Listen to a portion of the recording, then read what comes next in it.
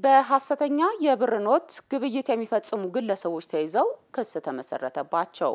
በተከናወነው የምርመራ ማስፋት ስራ በብር ቅርጽ የታተሙ በርካታ ሐሰተኛ የብር ኖቶች በመኖሪያ ቤት ውስጥ ሊገኙ ችለዋል።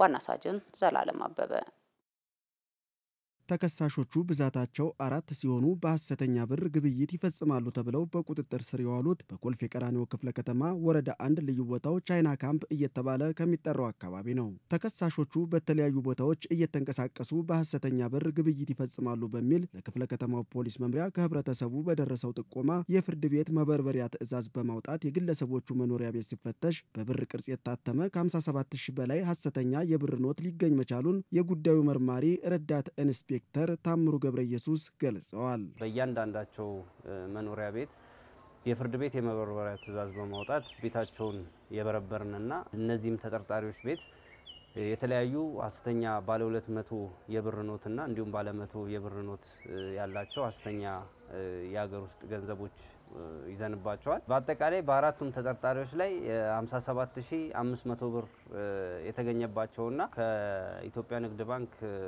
አየር ጤና ቅርንጫፍ ወስደን ገንዘቡን ሐሰተኛ መሆኑን ከባንኩ የተረጋገጠበት ሁኔታ ነው ያለው። በግለሰቦቹ ላይ አስፈላጊውን ምርመራ በማጣራት አቃቢ ሕግ ክስ እንዲመሰረትባቸው ማድረጋቸውን የገለጹት ረዳት ኢንስፔክተር ታምሩ ሐሰተኛ የገንዘብ ስርጭት እንደ ሀገር የሚያስከትለው ጉዳት ከፍተኛ በመሆኑ ሁሉም ሰው ሊከላከለው እንደሚገባ መልእክት አስተላልፈዋል።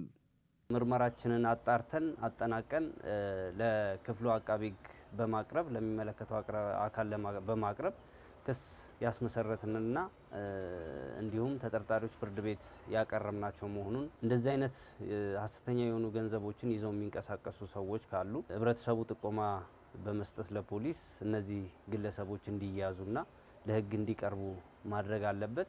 ሲገበያይም ሆነ የተለያዩ ቅብብሎችን ሲያደርግ ከገንዘብ ጋር ጥንቃቄ አድርጎ ገንዘቡ በትክክል ትክክለኛ ገንዘብ ነው አይደለም የሚለውን አጣርቶ መቀበልና መገበያየት አለበት ነው።